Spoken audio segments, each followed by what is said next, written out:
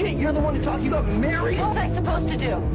Was I supposed to sit on my porch knitting, hoping one day you'd show back up? You disappeared. Gone. Nothing. I think you deviated my symptom. Good. You're lucky I didn't have a knife. So what now? What do you mean, so what now?